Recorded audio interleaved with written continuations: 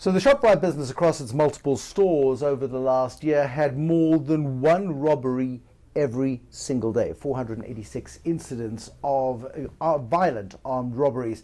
Pieter Engelbrecht, Chief Executive of ShopRite. Those 486 incidents all in South Africa or those spread across the African continent? We don't have that kind of uh, scenario in the rest of uh, Africa. It's a South African problem. Uh, 489 to be 489, I beg your pardon. Give me a typical example of what plays out in one of these robberies. And, and why, why I mentioned that and why, and, and, and uh, it's not something we like to talk about, I mean, but it's the reality. We've had a 34% increase in armed robberies in, over the last year. The issue around that is... it's not one guy coming in with a balaclava 20 uh, with, with, with a fake gun. 20 at a time, armed with an AK-47, storming a store, um, as I said to the Minister of Police at the time, Mr. Fikile, that... Um, he met you at this table, I think. Fikile and Mbalula came in here, sat at this table, correct. and you chatted about this. Yeah, and, and, and um, uh, there's a lot of things that we shared with them. We shared data with them. There's certain hotspots, of course. But it's 20 armed people rushing into a store. How would your reaction be if it's your daughter sitting on my checkout? That's what you asked for and Balula. Yeah, that's, how we're passionate about our people and we're worried about them and their safety. So that's the one thing. In, uh, in one of the incidents, unfortunately, um, they shot four of our customers um, in, in a store recently, about four weeks ago. The next day, you can understand, one staff member pitched up for work.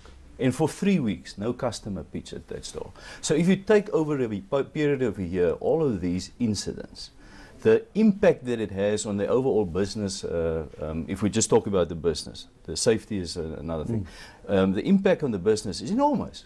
The amount of, of, of, sales and turnover that we lose is, is, is very big.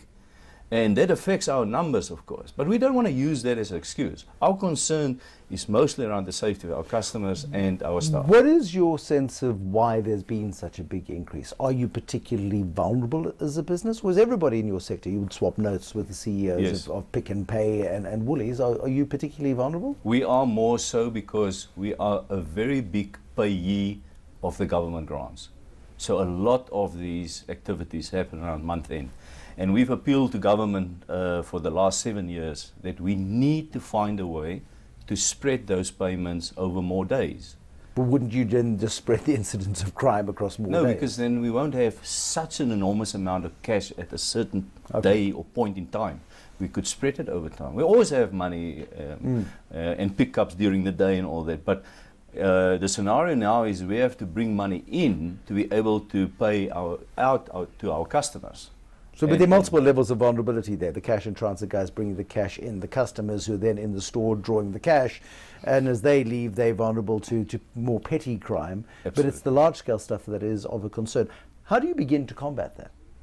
Well, we've invested a lot of capital and I also consulted uh, globally. Um, and I'm uh, starting to feel like we're building our own little CIA here with uh, data um, that we feed into a central control room uh, where we can see exactly which of our assets are under threat and we can make centralized decisions around that. Is the crime stuff as predictive as the artificial intelligence within the business suggests what's going to happen with prices and with trends and with consumers and with demand? Is the crime stuff as predictable using it's, the data? It's starting to be because we've, we, the first thing is you have to get the data. So we started to collect the data and put it in single repository, and now we're starting to use the algorithms to start tell us what's the likelihood. But you're doing this privately. So yeah. you're, you're, funding this privately. Yes. You've got, I don't want to use the term private army, but effectively a private army, yeah. private intelligence services, privately running this thing because the state has been, what, unwilling, unable? Uh, what, what's the reason for not them not stepping up to the plate? What I can say is the, probably one of the biggest deterrents still of that kind of crime is visible policing. Um, and there are some improvements that we can make in visible policing around uh, the scheduling of that, etc. So there are small things that we can do. I also want to say that there are some fantastic mm. police out there that do assist us. Uh, but it's, uh, it is Uh, not on a national level. It's certain of the generals, certain of the uh, commissioners of excellent help to us. I must admit that. But you don't have this problem in other parts of Africa. Some 20% of your business happens in Africa outside of South Africa. South Africa naturally then would have a disproportionate impact on, on, on you know, it will be impacted on disproportionately.